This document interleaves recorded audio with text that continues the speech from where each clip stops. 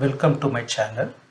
This video is guideline for all the graduates, engineers, beginners looking for a job in the field of automation. Why we need to select automation?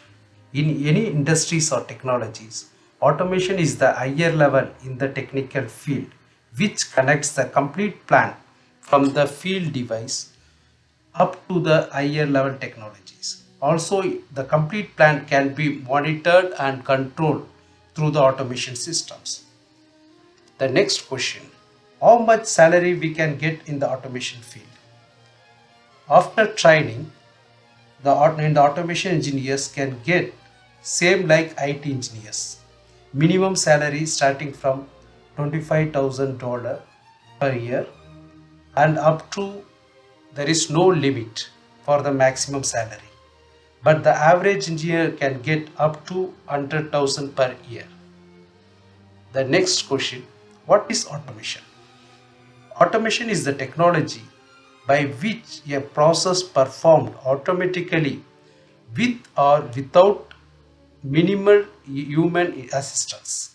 Any mechanisms that moves by itself is automation. And where we can find automation currently automation technology is in everywhere in daily life. Industrial automation which takes a major role such as process automation factory automation robotics cncs other automations such as building automations home automations business process automations banking system automations logistics transportation healthcare, retail, and government services, etc. What does an automation engineer can do? An automation engineer can design, develop, implement, and maintain the automated systems in various industries. And the next question What education required to become an automation engineer? Aim for bachelor degree in related with the field of instrumentation and control, electrical, electronics or mechatronics, even on IT field. Otherwise, an bachelor engineer degree should be preferred and get an experience with automation or related field.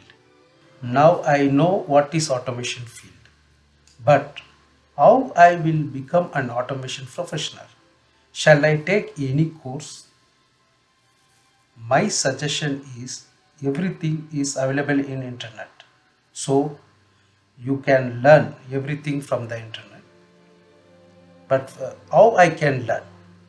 Okay you need to be learn the basics of plc scada and instrumentation field such as what is automation what is plc and what is the difference between the plc and scada systems and what is automation pyramid what is analog signals and how I can make the analog scaling and also the basics of PLC programming in ladder logics and also what is network topology and what is the difference between the bus star ring networks and also the basics of industrial communication protocols. Also need to learn the other function languages such as FBDs, IAN, structured text, etc. And also need to know that what is functions and function blocks. Once you are familiar with these topics, then you can install the softwares of the PLCs and SCADA systems and you can start learning for the PLC programming. Also, you can find all the basic training courses or tutorials available in our, in our channel. Thank you for watching this video. If you like this video, kindly press the like button and subscribe this channel.